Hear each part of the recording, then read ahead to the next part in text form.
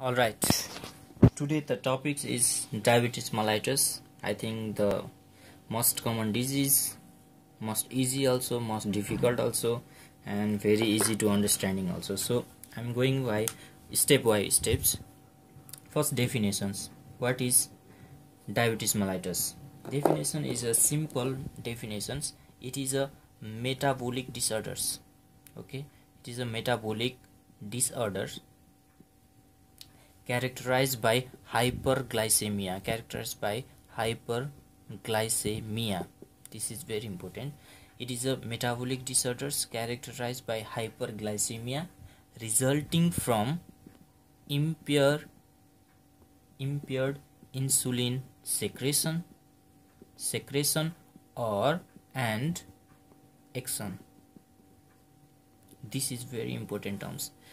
It is a metabolic disorders metabolic disorders characterized by hyperglycemia means glucose level high resulting from impaired insulin secretions and or actions of insulins. Okay? This is the definitions. And let's go types. Types. First is a type 1 diabetes mellitus. 2 is a type 2 diabetes mellitus. 3 is a gestational gestational diabetes mellitus okay? And four is other types? Other types the most other common types is MODY. MODY? MODY? MODY is a maturing maturing onset maturing onset diabetes of young. Maturing onset diabetes of youngs. And others is a disease of pancreas disease of pancreas and endocrine disorders endocrine disorders. But we are going to discuss about type 1 diabetes and type 2 diabetes because these are the most common others are not so common. So one more time i want to repeat definitions. It is a metabolic disorders means metabolisms disorders characterized by hyperglycemia means glucose level increase resulting from impaired insulin secretion maybe no insulin secretion or on or and actions means there is an impairment of insulin actions type 1 2 gestational and other MODY you need to remember okay? Now let's differentiate what is type 1 and type 2 this is most commons okay? And very important for us in the diagnostic purpose as well as the for pharmacological purpose.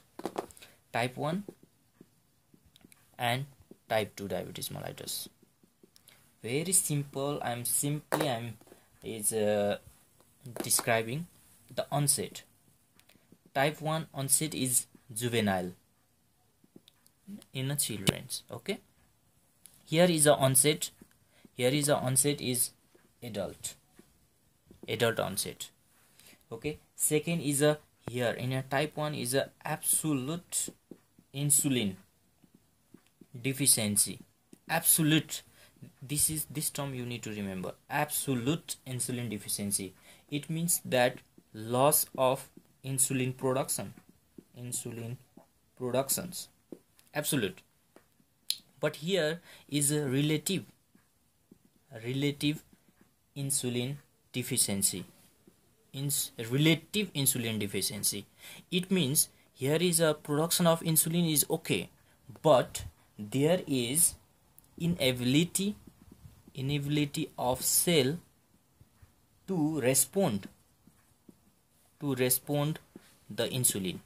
You need to very very understand this point number 2 type 1 diabetes absolute insulin deficiency. It means there is no insulin production at all. But type 2 there is a relative insulin deficiency. It means that there is a production of insulins but the inability of cell to respond the insulins means they cannot give the response to the insulins. Point number 3 the difference. The type 1 cause actually is of course beta cell destructions beta cell destruction. If beta cell to complete destruction it means no insulins. May be due to autoimmune immune mediated autoimmune or maybe idiopathic idiopathic but mostly they are associated with the genetic. Okay? And type 2 type 2 is a most often associated with obesity. Most often associated with obesity and lifestyle and it is also associated with genetic.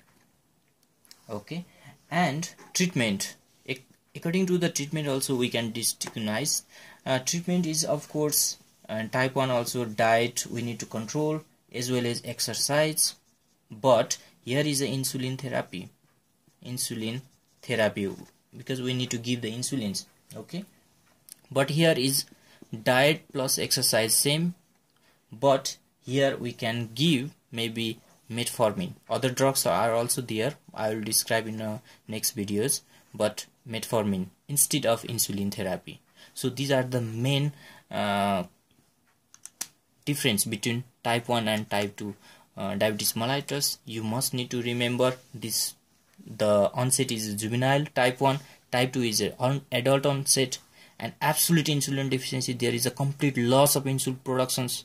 But whereas in type 2 uh, diabetes mellitus relative insulin deficiency it means there is a production of insulin but unable to respond that insulins into the cells. That cause beta cell destructions type 2 may be autoimmune or may be idiopathic but of course there is association with genetic factors and environmental factors or the viruses also. But type 2 is uh, associated with obesity lifestyles as well as associated with genetics. And treatment basically type 1 we will give the insulin therapy whereas diet and exercise also need to give uh, in but instead of in uh, type 2 we will give the oral anti-diabetes uh, drugs maybe metformin and other drugs uh, later we will describe. So these are the main uh, difference between type 1 and type 2 and this is the main introduction of diabetes mellitus. Thank you